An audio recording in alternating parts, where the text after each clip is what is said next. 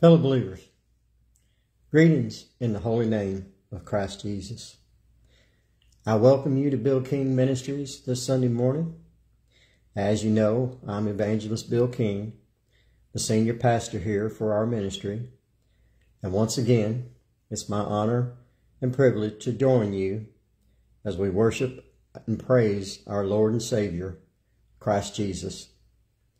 It's my humble prayer that God blesses this message and each person attending or viewing the service at a later date and time.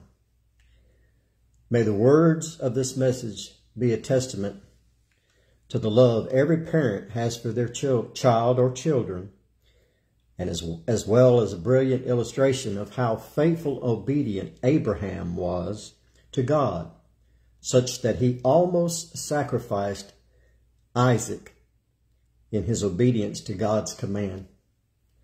And may it strengthen all our faith in serving God no matter where he sends us, no matter what he asks or demands of us, and no matter how deeply our doing so may dramatically impact our lives. Amen. The title of my message is the near sacrifice of Isaac, Abraham's faithful obedience to God. And our references are Genesis 17, 16 through 19, Genesis chapter 16, the book of Job, Genesis 22, 1 through 2, and we I won't quote all of these, this is just references. Genesis 22, 11 through 12, Matthew 10, 34 through 39, 1 John 5, 1 through 3, Psalm 128, 1, Psalm 128, 4, Exodus 32, 7 through 14, John 15, 23, Isaiah 41:10, and Job, Job 42, 3, 23, as found in the New King James Version of the Holy Bible and listed in order of precedence in their usage in this message. If you have your Bibles along with you and wish to follow along at the appropriate time, I bless you. On with our message. Excuse me.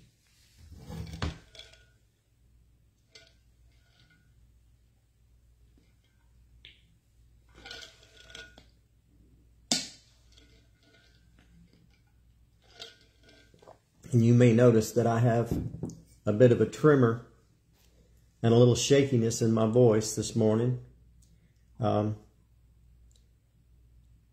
forgive me, uh, a rather serious illness has befallen me of late, about for a month now, and I've been able to conceal it very well from everyone, but I, I won't uh, be able to no more.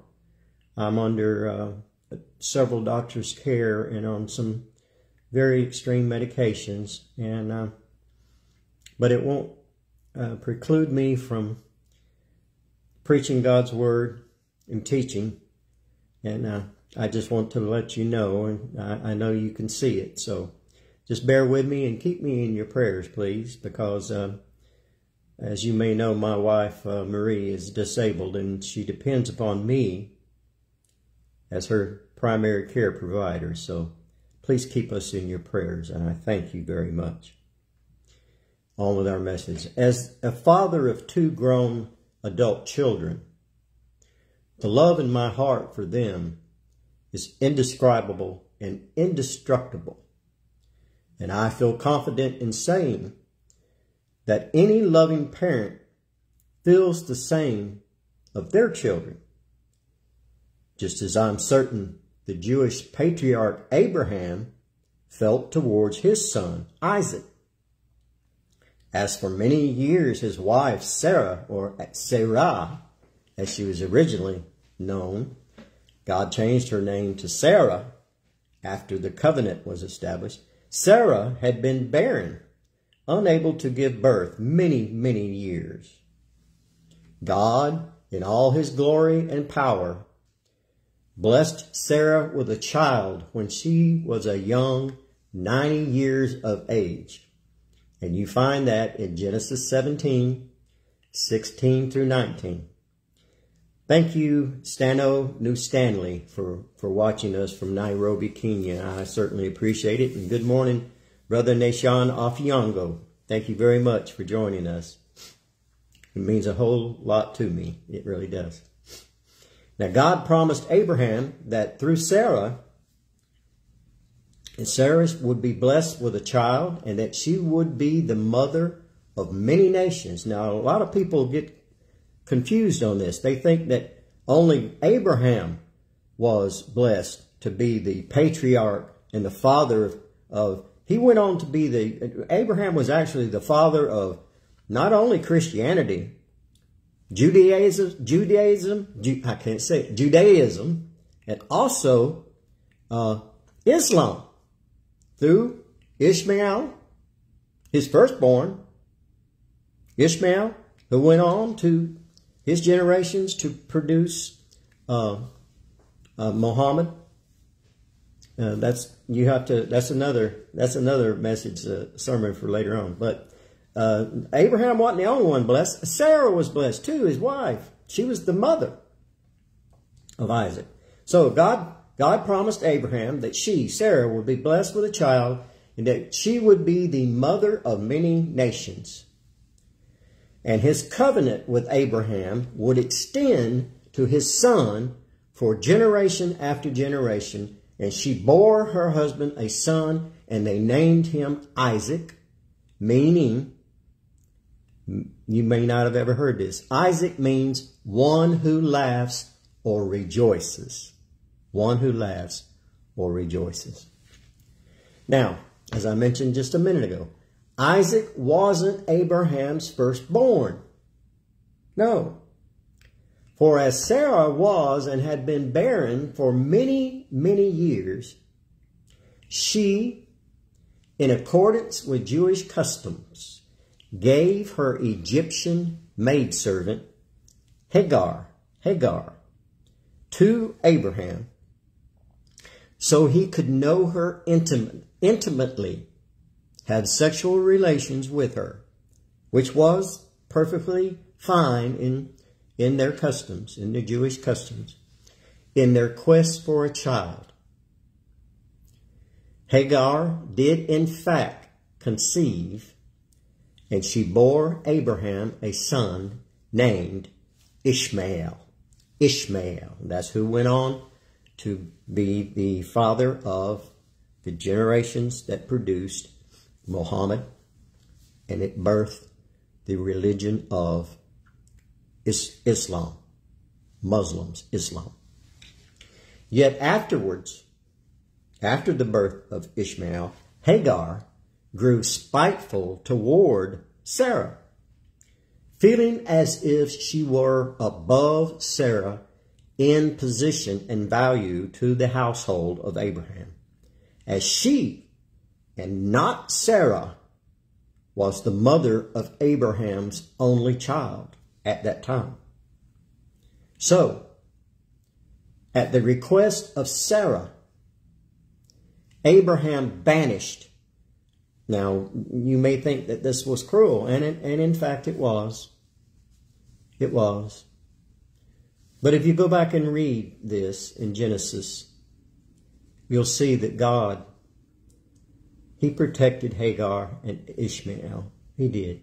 He didn't just let them perish out in the desert. He ban- Abraham banished both Hagar and Ishmael from his household to fend for themselves. And you find that in Genesis, Genesis chapter 16. Genesis chapter 16. As I told you, we're not going to quote everything, uh, but I'm giving you references here. I'm teaching this morning. As Isaac grew, the love Abraham held in his heart for his son only intensified. Hi, Evangelist Minas. Hi, my dear sister. So glad to see you and that you're with us this morning. Thank you very much. So his love for this Isaac only intensified. For Isaac was not only the apple of his eye, but the fruit through whom God had promised in his covenant with Abraham that his lineage lineage would go on for generation after generation producing many kings and we find that in Genesis 17 16 Genesis 17 16 similar to the manner now we're going to have a correlation here. Listen similar to the manner in which God allowed his loyal servant Job, Job, and by chance, and I want to stop right there and give a big public hello and a welcome to our newest associate pastor, Pastor Job Omingo, who just joined us yesterday, and he lives near uh, Nairobi, Kenya. He and his wife, and I hope I don't butcher her name, Rael, joined us. They accepted my invitation to be our newest associate pastor and his wife. And I give a big shout out to him. Thank you very much, uh, Pastor Job, for accepting my offer. And I look for many fruitful, many fruitful contributions from you and, Rael. I know you, you, I know you will do well, and I will, uh, I will uh, support you and mentor you all I can. Thank you. But getting back to this, here's that correlation. Similar to the manner in which God allowed his loyal servant Job, and if you've never read the book of Job, or if it's been a very long time, it's a long book now. You really need to go read it. You talking about perseverance, perseverance in the face of ungodly, un, unimaginable uh, trials and tribulations. Oh my goodness. Similar to the manner in which God allowed his loyal servant Job to be tested by Satan himself so as to prove that no matter what the evil one did to Job, and he did awful things, Job's faith in him wouldn't be altered. Now that's in the Old Testament. Go read it. God chose to test Abraham's faithfulness and obedience. And, and it's, it's, surprising that he, did, that he did this, but he will, God will do this. He will do this. And he very, he may very well be doing this to me right now. For what may, what I may be suffering with is, is, is no laughing matter. Uh, God chose to test Abraham's faithfulness and obedience by commanding that Abraham offer unto him the ultimate sacrifice, his precious son and rightful heir to the covenant, Isaac. Isaac. For the Holy Bible says, and I'm going to quote Genesis 22, 1 through 2. Genesis 22, 1 through 2. Quote, Now it came to pass after these things that God tested Abraham. He will test us, my brothers and sisters, and said to him, Abraham, and he said, Here I am. Don't you wish God would call out your name audibly so you could hear it, so that you could look up and respond? Here I am. Oh, how I pray that happens. He said, Abraham, and he said, Here I am. Then he said, Take now your son, your only son, Isaac whom you love, and go to the land of Moriah. It was called the land of Moriah. And interestingly, um, I, I, I have read and studied that the land of Moriah was actually also in the in the future, way in the future, almost where Jesus was later crucified. Take the son, your only son Isaac, whom you love, and go to the land of Moriah, and offer him there as a burnt offering on one of the mountains which I shall tell you. End quote. That was Genesis 22, 1 through 2. I'd so appreciate everybody that's joined us. we we had seven with us at that time. Now, let's consider, let's, let's, let's put ourselves in Abraham's position for just a moment. God had performed a miraculous miracle in blessing him, in blessing Abraham and Sarah with a son. He had decreed that through Sarah, Abraham's lineage would go on and on forever. At one point, he took Abraham outside and he told him, he said, look up in the heavens and count the stars, if at all possible. And of course it wasn't. Such will be the number of your generations to come. Amazing. His lineage would go on and on forever, and God's covenant would be passed along through their son Isaac for generation after generation, the nation of Israel, from which many kings would spring forth. Now, such wasn't to be taken lightly. For God had chosen both he and Sarah to be the patriarch and matriarch of the soon-to-be nation of Israel, an honor among all humanity. Excuse me.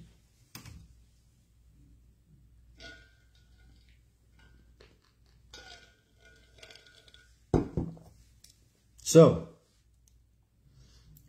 how could Abraham possibly say to God, Listen. No. I don't care what blessings you bestowed upon Sarah and I. I will not sacrifice what I hold most dear to my heart. You understand? If Abraham had done so, he could guarantee that he would feel God's wrath upon both himself and Sarah, and ultimately they would be erased from the face of the earth. For, my brothers and sisters, yes, God is a loving, compassionate, and kind, caring, merciful God. But he is also vengeful and temperamental at times, wrathful, especially when those he has chosen, like the, like the future nation of Israel, as we go on to read in the Old Testament, especially when those, those he has chosen disobey his will and commandments. He isn't one to be trifled with. No. just ask if we could go back and ask Moses. what did he do to Moses? After Moses had listened to him, Moses did everything that God asked him to do. He free, he, he through through through listening to Moses and he he and Aaron, uh, they they freed the Egyptians from over 400 years of Egyptian slavery. Okay, led them across the parted Red Sea, brought them to the, the base of Mount Sinai. Moses went up atop Mount Sinai for 40 days and 40 nights, receiving the, the laws of Judaism and the Ten Commandments. While up there, the Jews down at the base grew, grew tired of waiting and forced uh, Aaron, who was in charge, Aaron, who was uh, later handpicked by God to be the first high priest, of the nation of Israel from the tribe of Levi. And the Levites became the, uh, the, uh, the, the tribe who uh, went on to be the, uh, uh, the tribe of whom the, uh, the high, the priest of the holy temple came from. They forced Aaron to create the golden calf and 3,000 of them began to idolize it and worship it, saying, this, look, look, look, Jew, uh, Israel, this is the God who led you out of Egyptian captivity. God wanted to exterminate every one of them, start over with Moses' seed. Moses, being a friend of God, talked them out of it.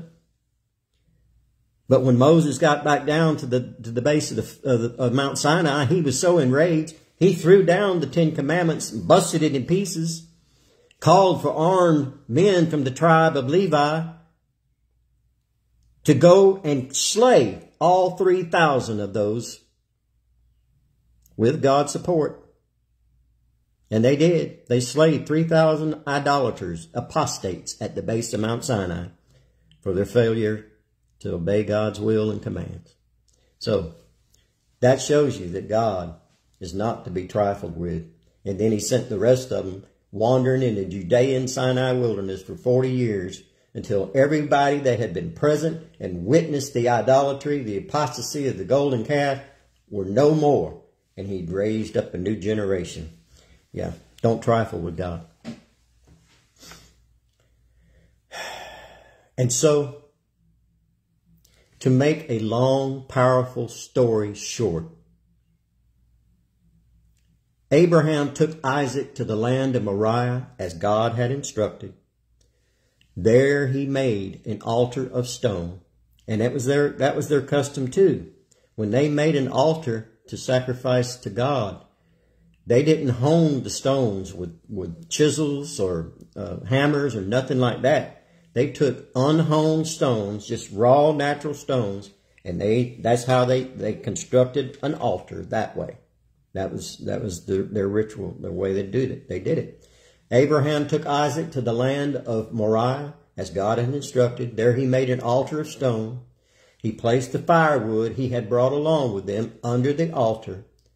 He laid Isaac atop the altar, withdrew his dagger, and was in the process of carrying out God's command when the angel of the Lord appeared. And I stress the, and I'll explain that in just a minute the angel of the Lord appeared, saying, and I quote, Genesis 22, 11 through 12. Quote, but the angel of the Lord called him, called to him from heaven and said, Abraham, Abraham. So he said, he said it again, here I am. And he said, do not lay your hand on the lad. Now that's a that's a strange uh, term for that that angel to use back then. The lad. Seems like he would have said, "Do not lay your hand on Isaac. Do not lay your hand on the lad, or do anything to him.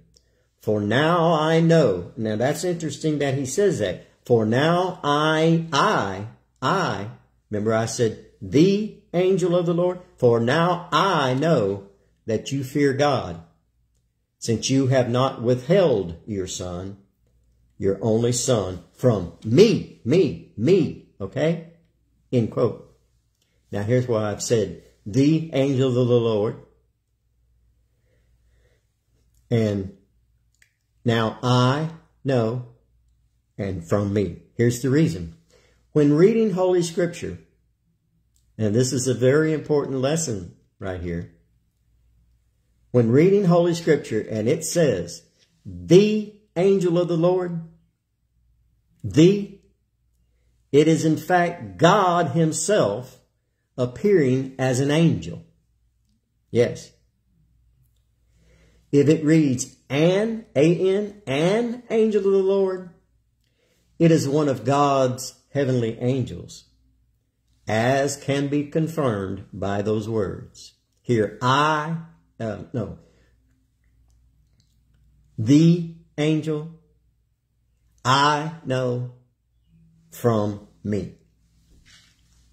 Interesting point.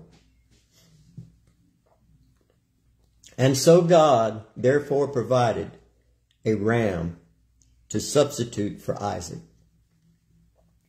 And the sacrifice was carried out. Abraham had successfully proven beyond a shadow of doubt that he was willing to sacrifice what he loved most in life out of his loyalty, loyalty, faithfulness, and obedience to God, regardless of how much pain and grief doing so would bring both he and Sarah. a testament to faithful obedience, surpassed only by Job, whom I mentioned earlier. For Job lost nine children, nine children, right off the bat. His homes, his livestock, his wealth, his position in society, and even his wife and closest friends ridiculed and turned their backs on him. And he ended up being covered from head to the soles of his feet by horrific boils, which many believe was akin to leprosy. Yes. Now, and I don't often do this, let me throw in a bit of speculation, if, if you will. Just a bit of speculation. Opinion uh, is another term for that. I, like I say, I don't often do this, but it, once you hear what I say, it, will make logical sense because I am a, a devout student of humanity. Thinking as Abraham must undoubtedly must have thought. He knew God was almighty powerful, as we all do. Okay? For God had blessed Sarah, who had been barren so many years, with a child far beyond her childbearing years. She was at the tender age of 90 when she gave birth to Isaac. And Abraham himself had sired the child at the age of 100. Can you imagine? That he even had the, uh, the urge to do so. 100 years old. There's men 40 years old now taking what? Viagra. Not Abraham.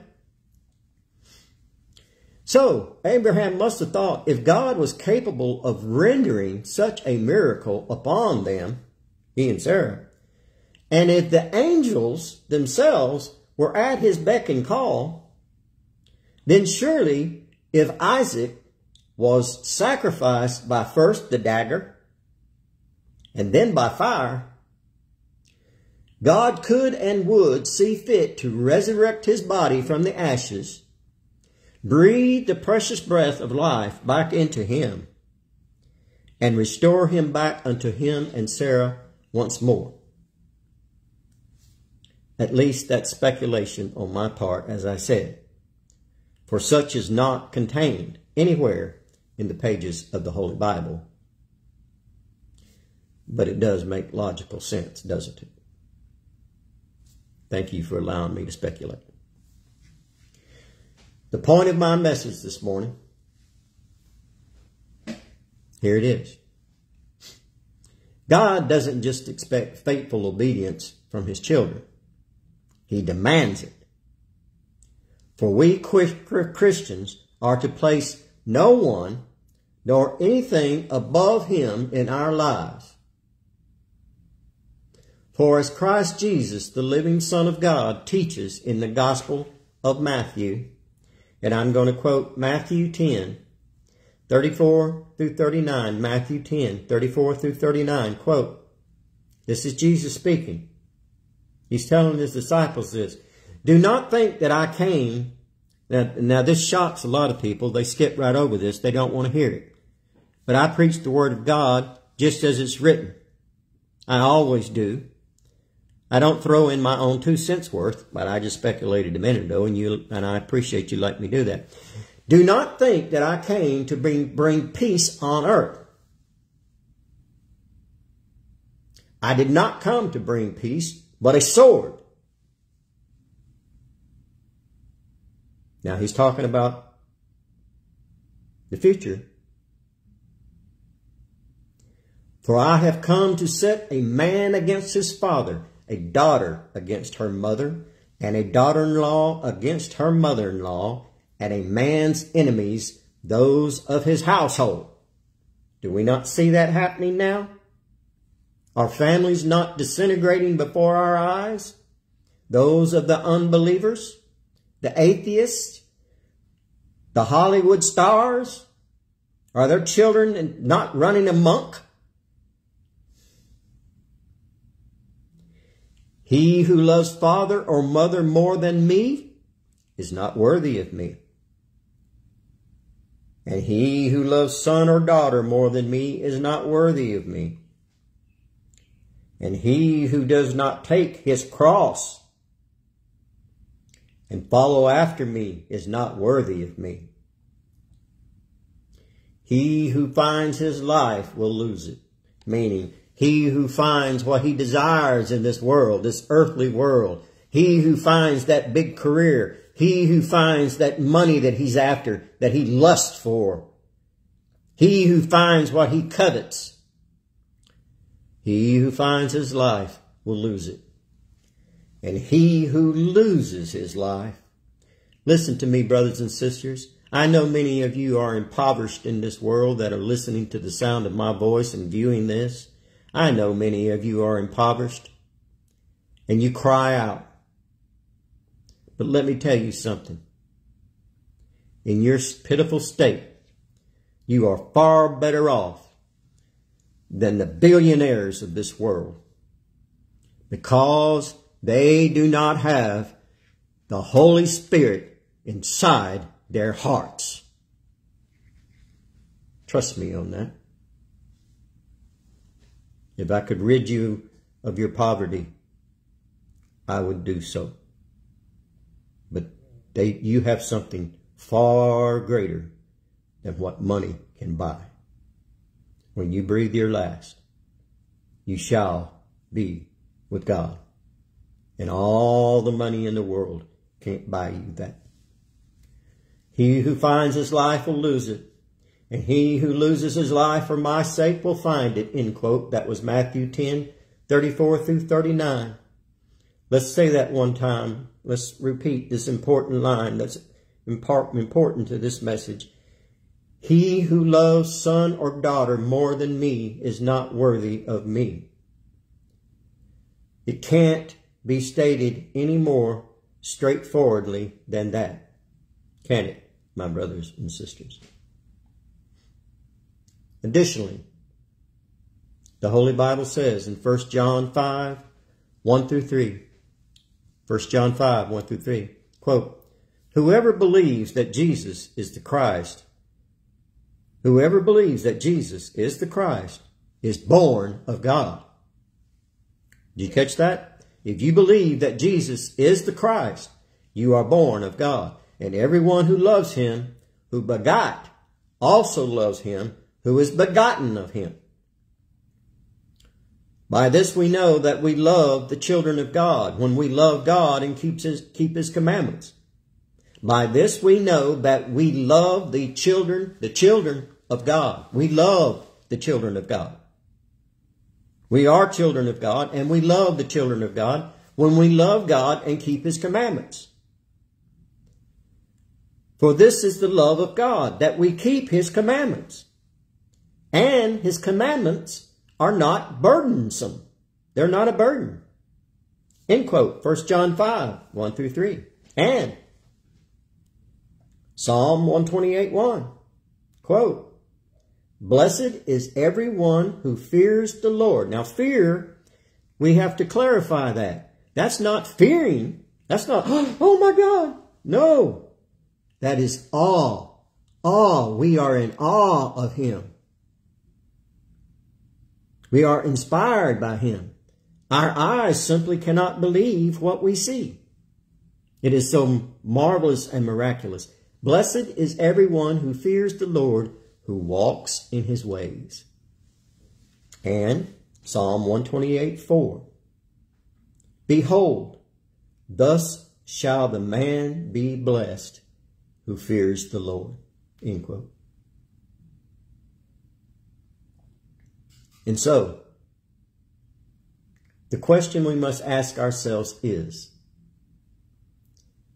just how far will we carry out our faithful obedience to God's commands, instructions, and His will?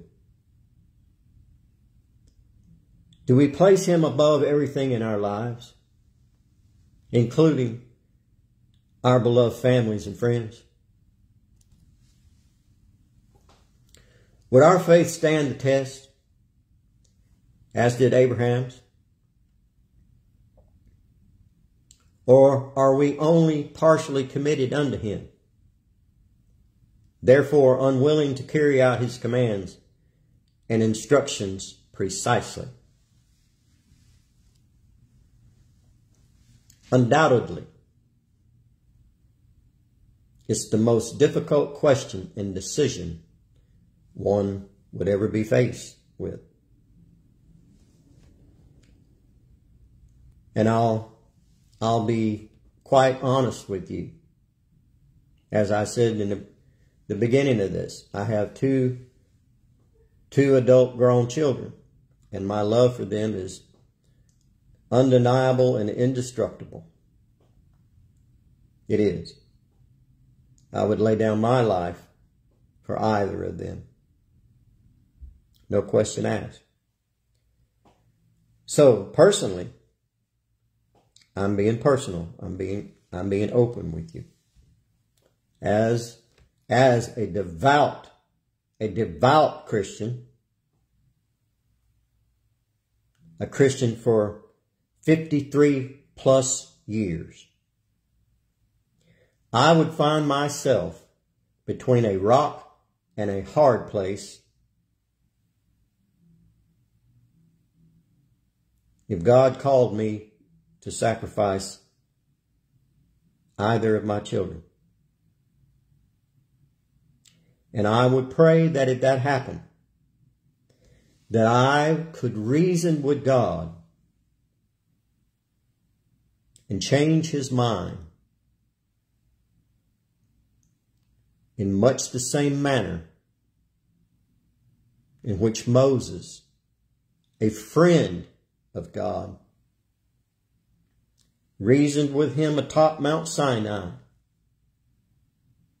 and convinced him not to wipe out the entire nation of Israel for the sinful apostasy of 3,000 ancient Israelites in their worshiping the golden calf.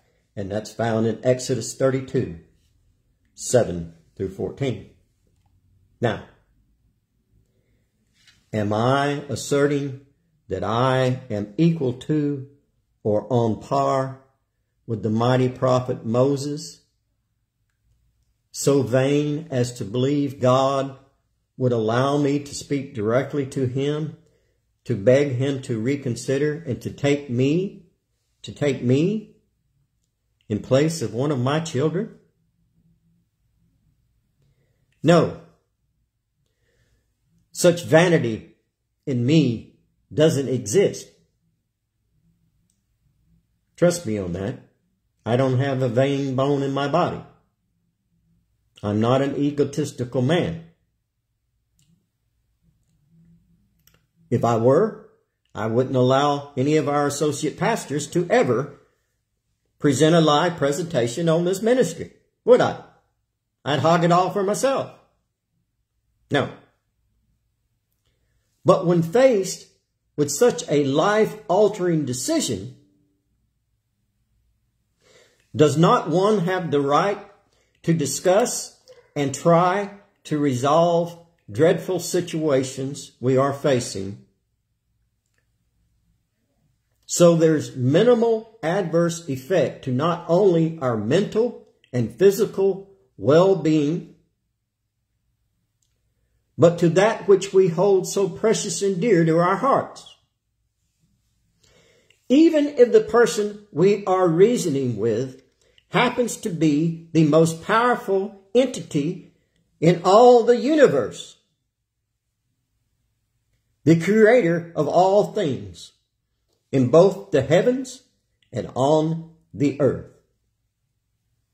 For as Christ Jesus says in the Gospel of John. And I quote John 15, 23. Listen to me very carefully. This is the point of what I've just said. Greater love has no one than this, than to lay down one's life for his friends. Such would include precious family members. So therefore, now that was Christ speaking, his son.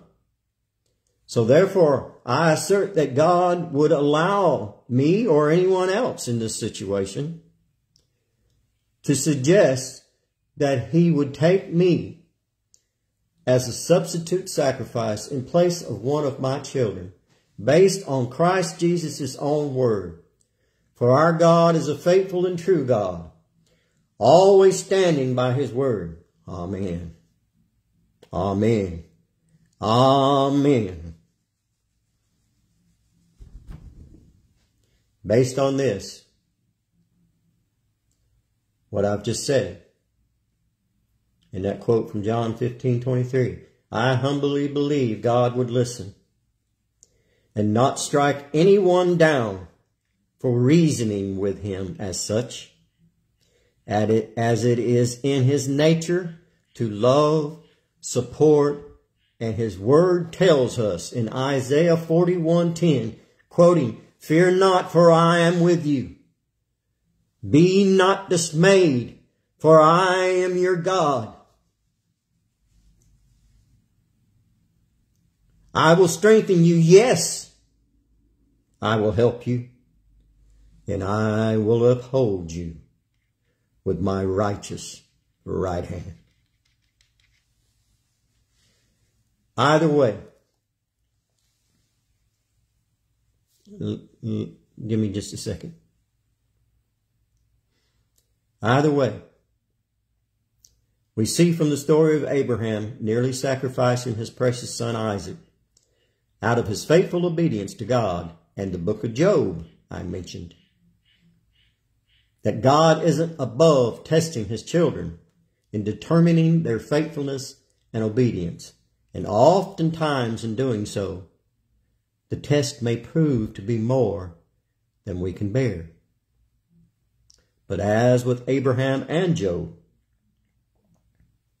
if we hold stead, if we hold steadfast to our faith in him and endure through to the end, we shall be better afterwards than before. Blessed more abundantly, as the book of Job provides the perfect illustration. For the Holy Bible says, and I'll just quote Job 42, 23, and I'll wrap this up. Quoting, this is, this is the end that I spoke of for Job. Now the Lord blessed the latter, latter days of Job more than his beginning, for he had 14,000 sheep, 6,000 camels, 1,000 yoke of oxen, and 1,000 female donkeys. Can you imagine? he had to be, he had to have a lot to just to feed that. so as we draw to a close, and I hate to let you go, if there's anyone with us presently or viewing this service at a later date and time who is yet to turn their lives over to God, and you're ready to do so now of your own free will, very important, of your own free will, ready to let go of the ways of this world, the desire for money and material possessions, release it all and follow Jesus then it will be my honor and privilege to lead you to the cross. Just bow your heads and repeat this sinner's prayer with me. O Lord, I'm a sinner, a sinner seeking your forgiveness and vowing to sin no more.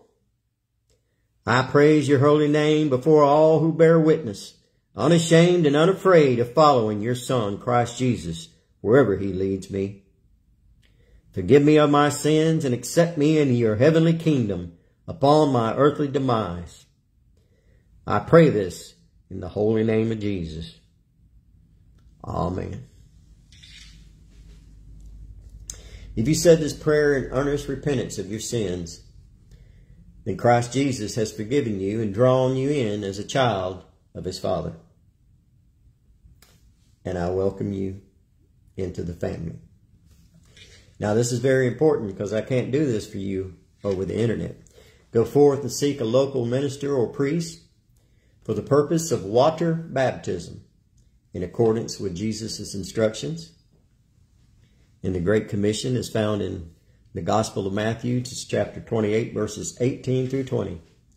And may the Lord bless you and keep you. The Lord make his face shine upon you and be gracious to you. The Lord lift up his countenance upon you and give you peace. And we have arrived at the conclusion of our service this morning. And once again, I thank you for allowing me to share God's word with you. If you enjoyed this message and agree with my teachings, then I welcome you to join me and your Christian brothers and sisters each Sunday morning at 10:15 a.m. Eastern Standard Time. That's my my time here in the United States. I'm in the southern United States, but I'm on the eastern coast. The same time zone as New York City. That's 10:15 a.m. my time, but that will be 5:15 p.m. Kenyan and Uganda time. Right here at Bill King Ministries on Facebook.com. And please bring some friends and family members along with you so that we can share in fellowship and camaraderie as, as one in the body of Christ. For we are the church, not the buildings that people meet in and gather in to worship God and praise and worship. We, the, worst, the, the Christians, we are the church. Always remember that. On behalf of our associate pastors, I thank you for being with us. Bless you all. Now please, bow our head, bow your heads for our closing prayer. Okay? Father God in heaven, Oh, that we should all, that we should attain, retain, and strengthen our faith in you to such a degree to trust, follow, and obey your commands, even if doing so leads us through the valley of the shadow of death. For you are wiser than all of us combined, capable of seeing the future and thereby determining what is or isn't right for us as your children. Test us, O Lord, that we may prove not only to you, but to ourselves we truly are your faithful, loyal, and obedient servants. For this we pray unto you in the precious and holy name of Christ Jesus. And all God's children said, Amen. I thank you for joining me. I look forward to being with you again in this week and to come and next Sunday. Bless you all for joining. Bye bye.